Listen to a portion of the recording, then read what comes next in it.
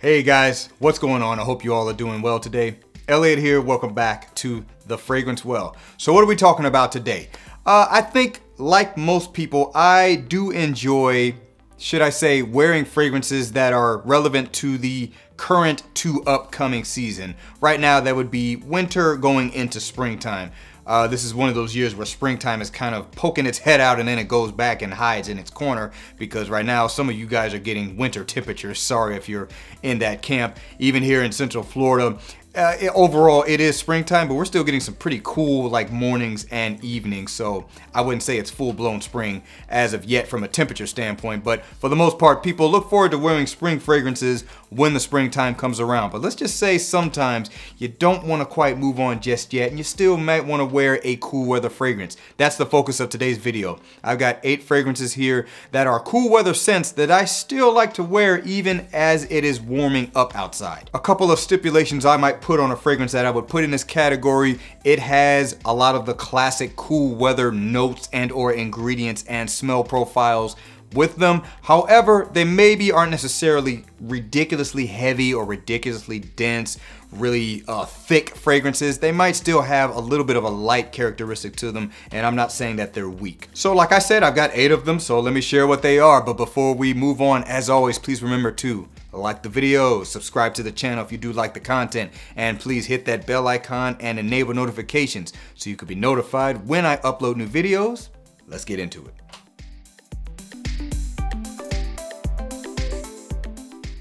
All right, let's get it started. First off, from the House of Amouage, we've got Boundless. Amouage Boundless.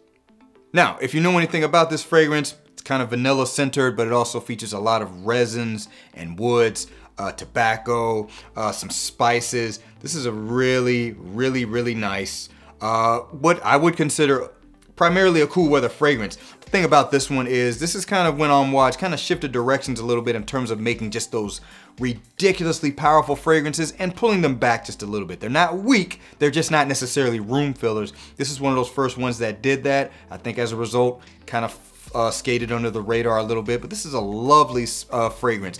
Like I said, features vanilla, but it's vanilla that's not really super rich. It's just kind of this uh, natural vanilla smell that hasn't uh, had a bunch of sugar added to it. And again, it features resins and woods and tobacco, really this oriental kind of woody resinous base. And it opens up with uh, blood orange and some fresh spices and a little bit of elemi resin. Because this fragrance does not have that very dense and overpowering characteristic to it, I think it could be worn even when it starts to warm up a little bit outside. So that's why I put this one on the list. Once again, from the house of Amouage, this is Boundless. Next one's coming from the house of Givenchy. This is gonna be Gentleman Eau de Parfum Boisé. Givenchy Gentleman Eau de Parfum Boisé or just Gentleman Boisé.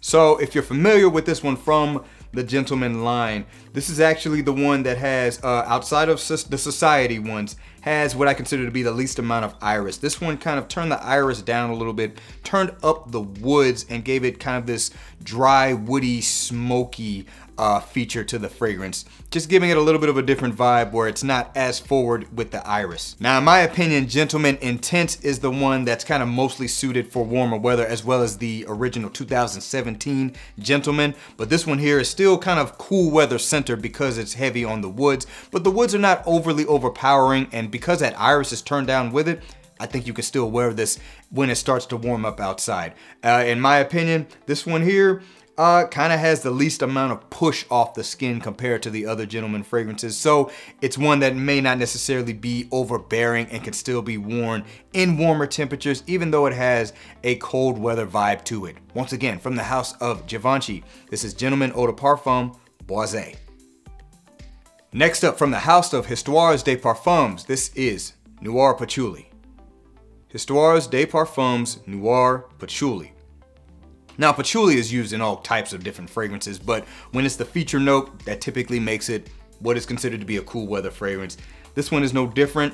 It's kind of earthy and spicy, really has a very traditional take on patchouli. It's not gonna be for everyone, I'm gonna be honest. However, it's not overly earthy compared to say like a um, a Jovoy psychedelic. That is a very earthy representation of patchouli. This one's a little bit brighter than that and also has quite a bit of musk uh, supporting the patchouli. Matter of fact, when the fragrance dries down, I find it to be pretty much a musk fragrance when you really get deep into the dry down. But this fragrance, while it is heavy on those that earthy patchouli vibe, it has this kind of lightness to it that I think can still be worn in warmer weather. So if you want to wear a patchouli fragrance when it starts to warm up without it being too overpowering, this might be one worth checking out. Once again, from the House of Histoires de Parfums, this is Noir Patchouli. Next up, we got one from the House of Ramon Monegal. This is gonna be Next to Me. Ramon Monegal next to me. So this one here actually has some warm weather centered notes in it. It opens up with this coconut peach vibe to it, which really makes me think that this fragrance has a lot more versatility than many of the other characteristics about it let on. Because once it kind of gets past that and once it dries down, it's quite smoky, it's incensey, it has uh, some heavy resins in it, and kind of this overall dry woodiness to it. And that's pretty much the bulk of the fragrance. It kind of stays that way once the peach and coconut settles in a little bit. It doesn't go away completely to me, but it just kind of calms down.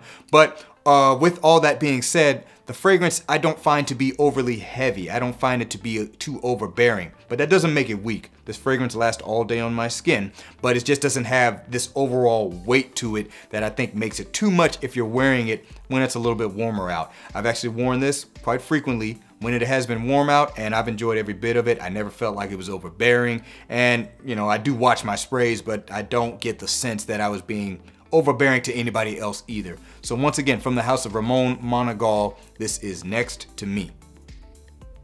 All right, next one's gonna be coming from the house of Parfums de Marly. This is gonna be Halton. Parfums de Marly's Halton, or Haltane, however it's said. I, I don't know, I like to say Halton. Anyway, this one here, if you're familiar with it, you know this is kind of Parfums de Marly's take on an Oud for Greatness DNA, presented in a slightly more masculine way. This one has some very nice aromatics off the top by way of a clary sage, lavender, and it has that Oud for Greatness DNA at the base of it, but a little bit more masculine with uh, maybe more of a focus on the woods and a little bit of a leather accord in this fragrance. I find this fragrance to definitely not be weak, uh, definitely last all day on my skin, but again, it doesn't have that thickness to it that I think can sometimes be too much if you are wearing it in warm weather.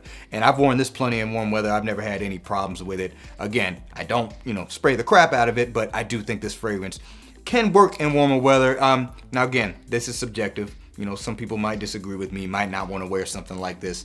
When it is starting to warm up outside, might not be your first choice, but I've enjoyed wearing this in warm weather, so that's why I'm presenting it here. Once again, from the House of Parfums de Marly, this is Halton. All right, next one's coming from the House of Nasomatto. This is gonna be Black Afgano. Nasomatto Black Afgano. Now, I already know this one is completely subjective uh, in terms of what some people might think of this fragrance. It's incredibly smoky, it's very heavy on the resins, it's quite woody. There is an underlying sweetness that definitely comes out as the fragrance dries down, but there's nothing about this that suggests it would be a warm weather scent. The only reason I'm saying I wouldn't mind wearing it as it warms up is because I have worn it when it's been a little warmer out and I didn't find it to be too much, me personally.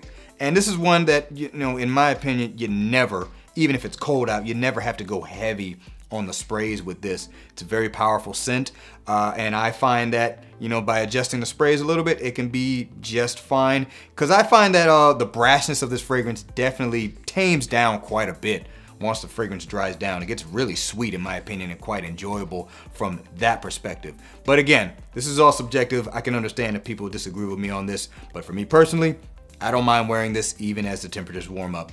Once again, from the House of Nasomatto, this is Black Afgano. Moving on, next one's gonna be coming from the house of Goldfield and Banks. This is gonna be Purple Suede. Goldfield and Banks Purple Suede, also known as Blueberry Lavender, as I like to call it. And honestly, it's that lavender that makes me think that this one can be worn in warm weather. Now I will say, out of all the fragrances I got, I do think this one kind of has the most weight represented here, maybe other than uh, Black Afgano, because uh, the leathery aspect of this is quite strong. And it does have some animalic notes supporting that leather. I don't find them to be overbearing, but they're definitely there. But that lavender, fruity lavender feel that is in this fragrance, it kind of sticks around even though the leather is kind of the real bulk of this fragrance, that woody leather feel that this one has. So again, a little bit subjective with this one. I don't think everyone would necessarily agree, especially when you start talking about leather. Most people are not looking to wear a leather fragrance when the temperature starts going up. But I think this one can work if you're a little bit more experimental with that, you know, temperature blurring in your fragrance choices like I am. Once again, from the house of Goldfield and Banks, this is Purple Suede. All right, last but not least, coming from the house of Tom Ford, this is gonna be Tobacco Oud. Tom Ford, Tobacco Oud.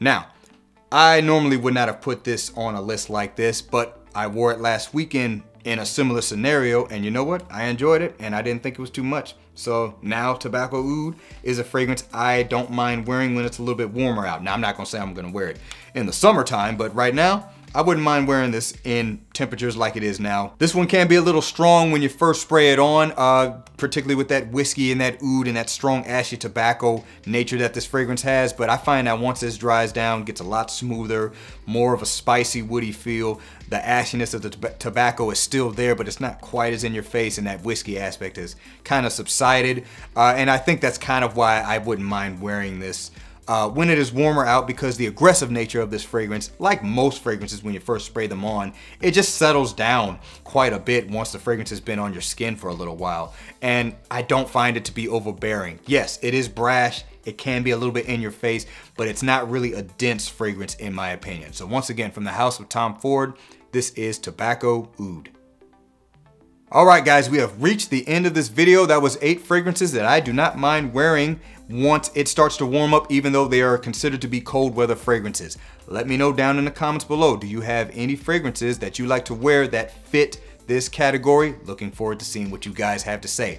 Thanks again for watching all the way into the end. Really do appreciate you guys. Please remember to be well and smell well. And I'll see you in the next episode of The Fragrance Well. Have a good one.